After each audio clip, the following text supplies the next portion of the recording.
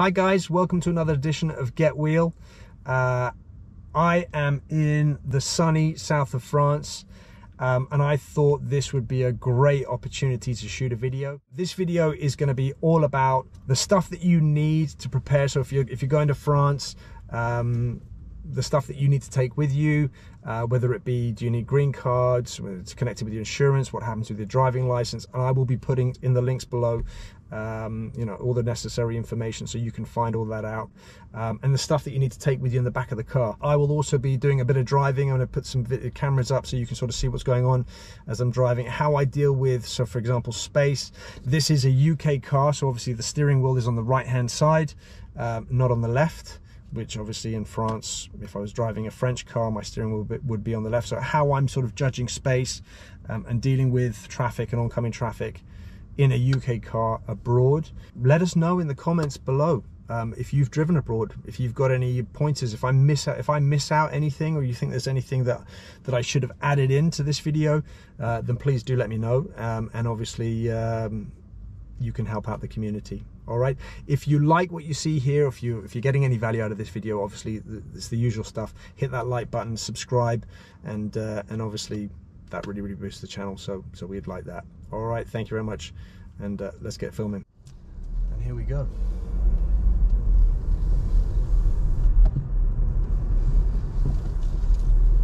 so obviously we drive on the right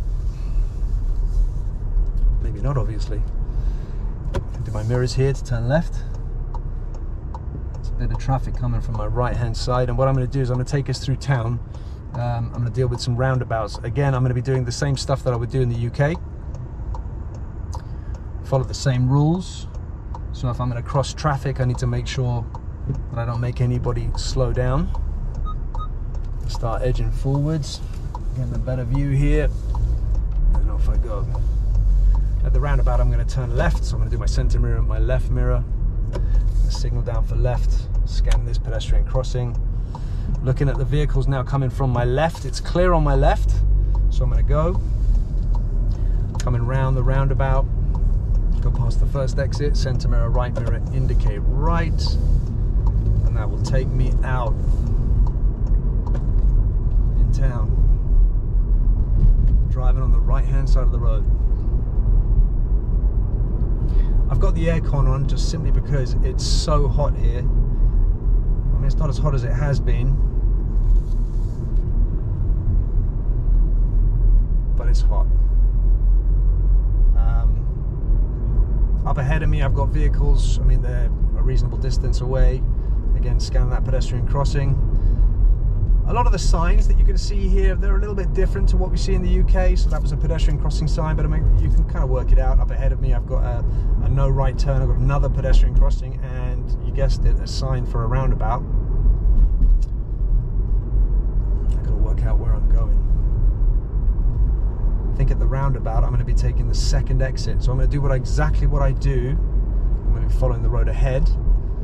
Um, so I'm going to be checking all three mirrors to make sure, see what's going on behind me. There's a guy behind, but he's not too too close to me. Going to enter the roundabout as I go past the first exit, center mirror, right mirror, indicate right to tell people I'm coming off the roundabout. New road, new mirrors. This time I've got a car quite close behind me. I'm going to pick up my speed. Says here 70 kilometers an hour. At the moment I'm doing about 55 I haven't got a camera for my speedometer, so you can't see that at the moment. Uh, again, vehicle behind me, not too close. Got a good distance between me and the vehicle in front. In fact, I can probably pick up my speed a little bit. I'm wearing my sunglasses simply because it's just so bright here. At the roundabout, again, I'm going to follow the road ahead, heading into a beautiful place called Uzès If you've not been there, it is stunning.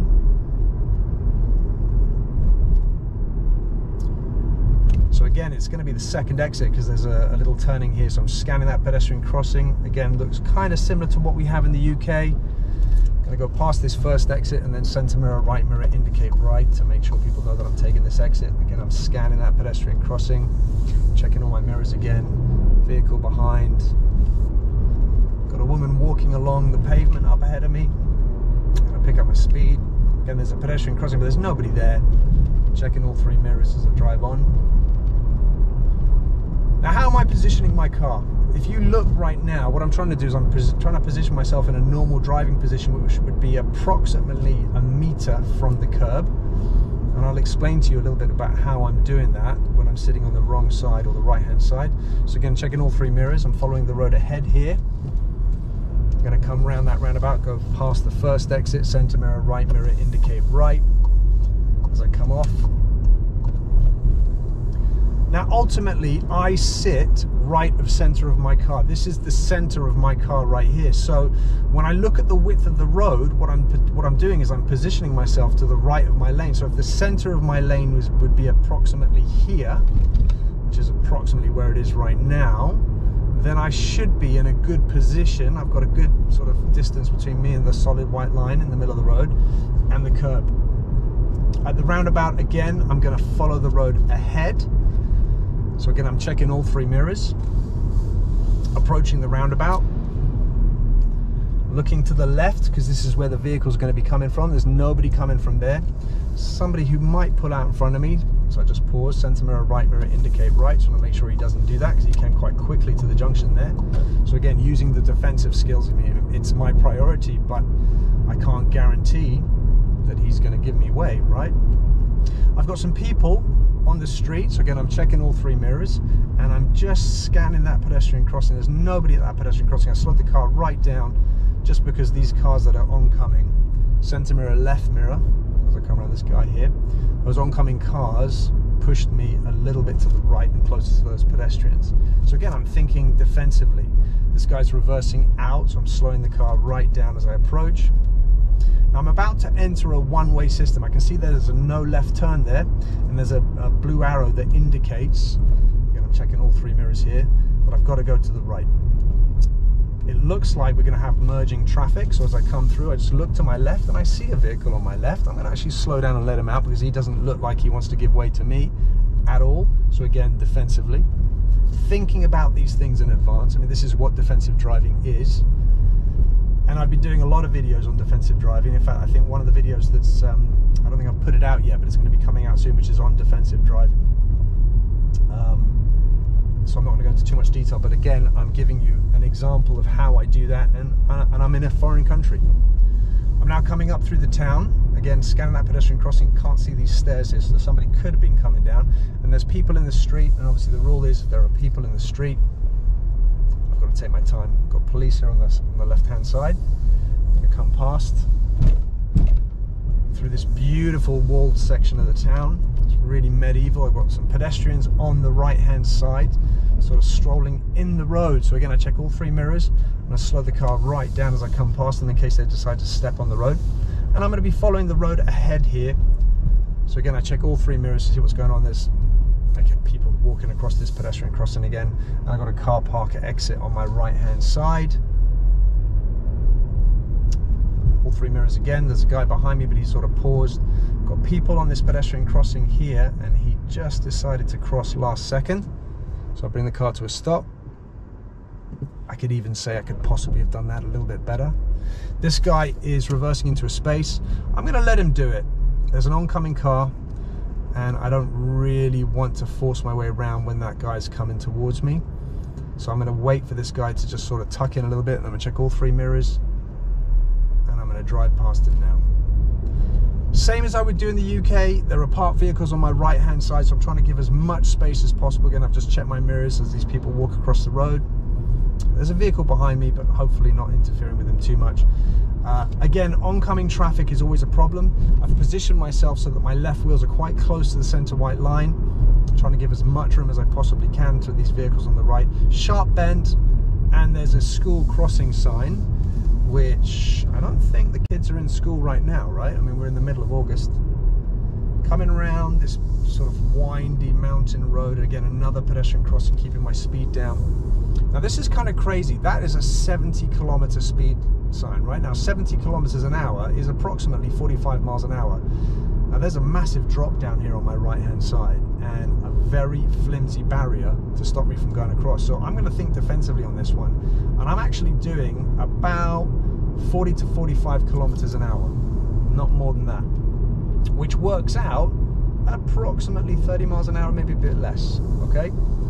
So what I'm doing as I come around the corner. Again, I'm positioned on my side of the road. I'm again using that same tactic of want to sit right of center of my lane to make sure that I'm not too close.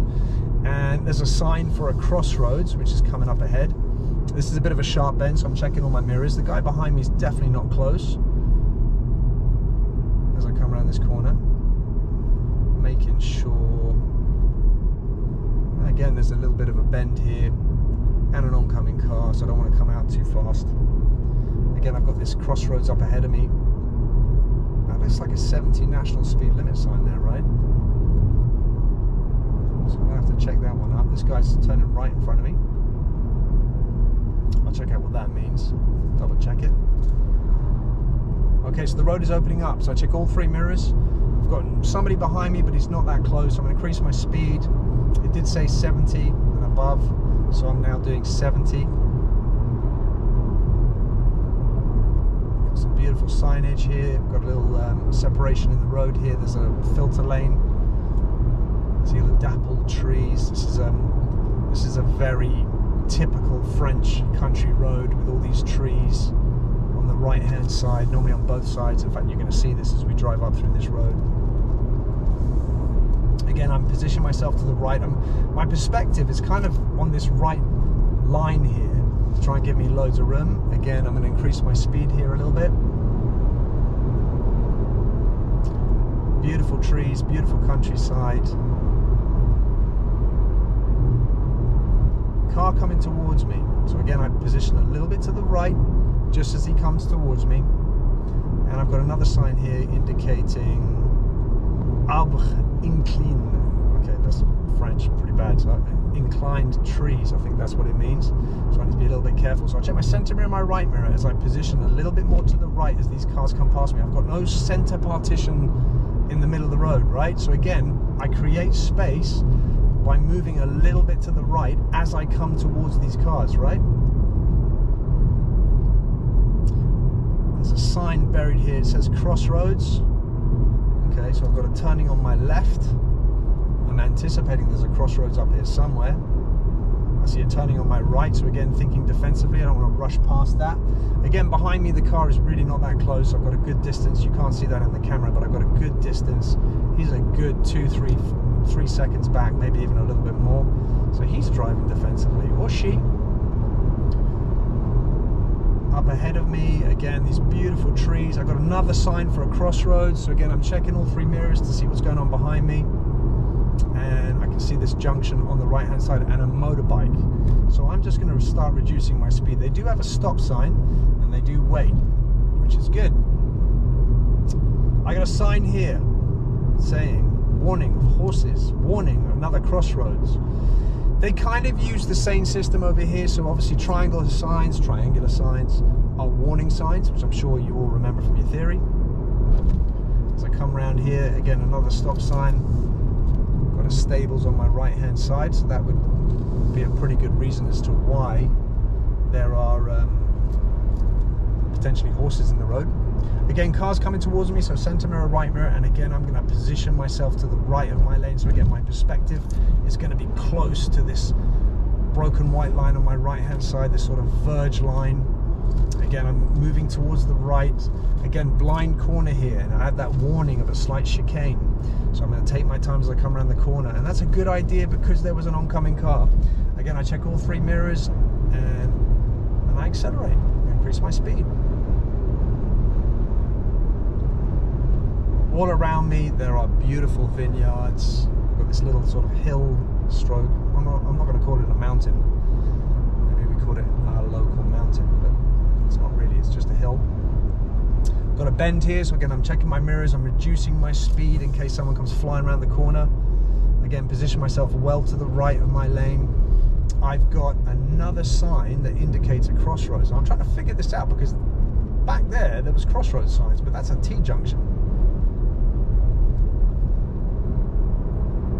a little bit lazy with putting their signs out properly. Who knows?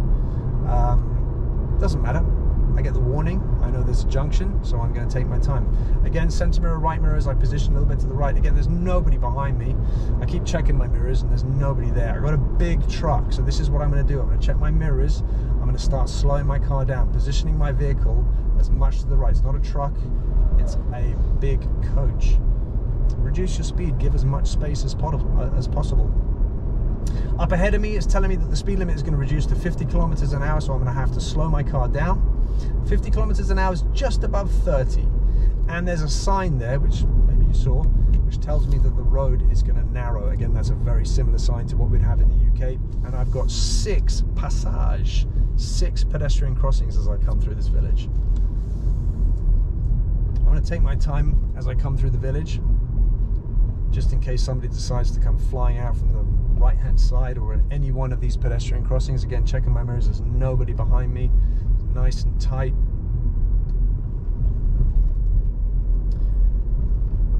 And then I'm going to take this next road on the left. Let's check my center mirror, my left mirror, just like I would normally do. Signal left.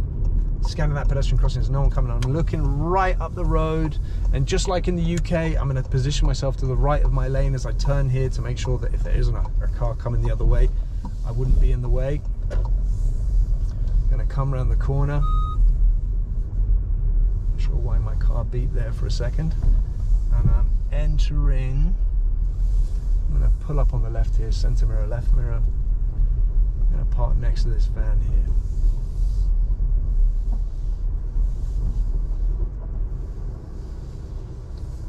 And come to a stop.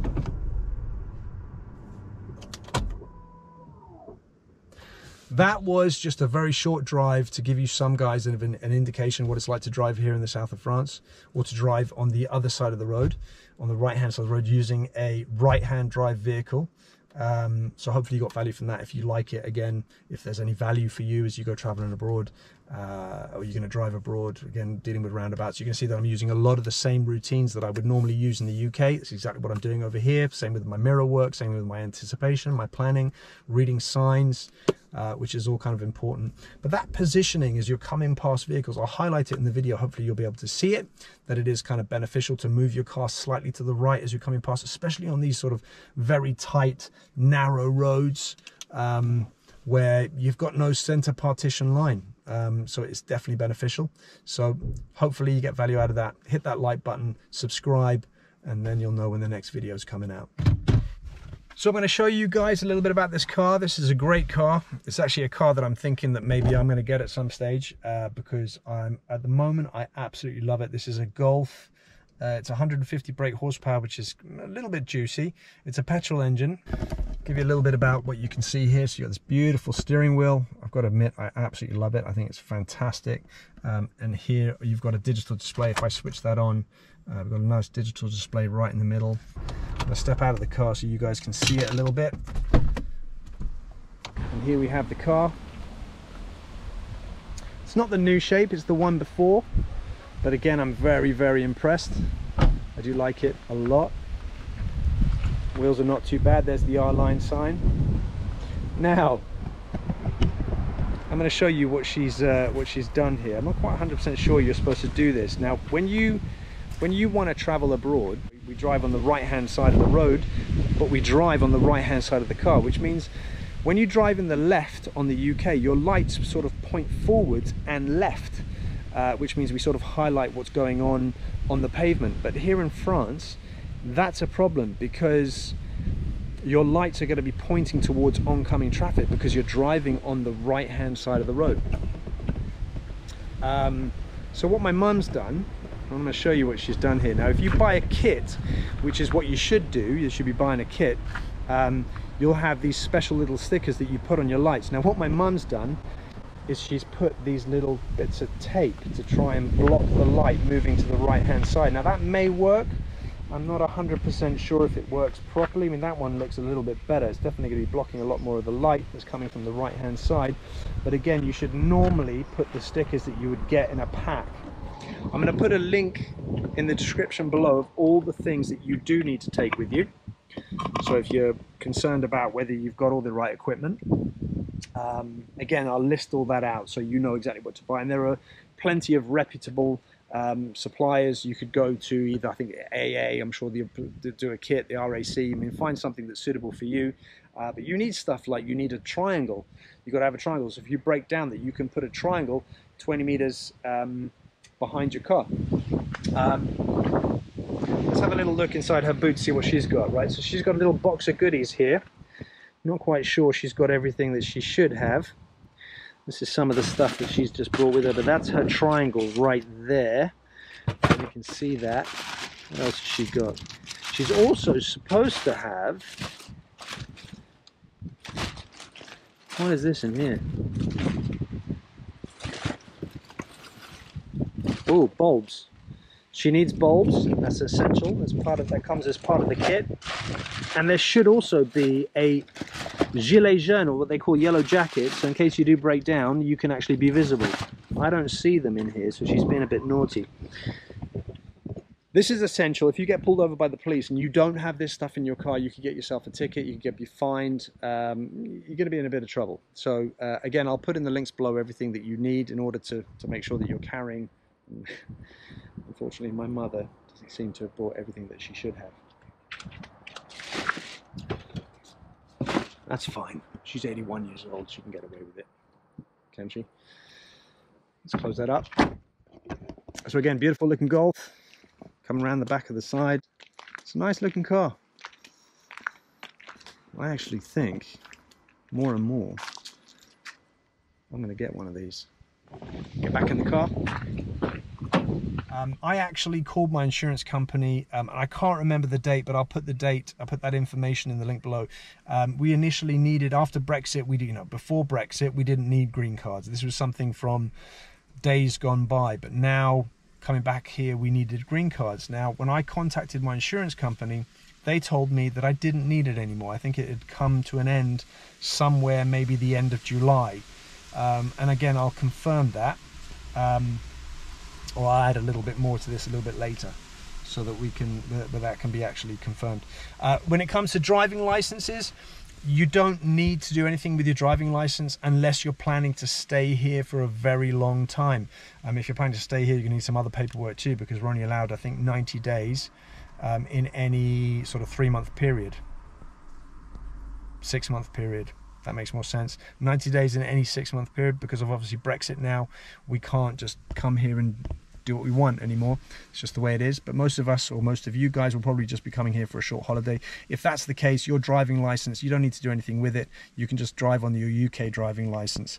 I'd heard reports that we needed to go to the post office and and and do something with our license. Again, that's not that's not the case. But for now, that'll do. See you next time.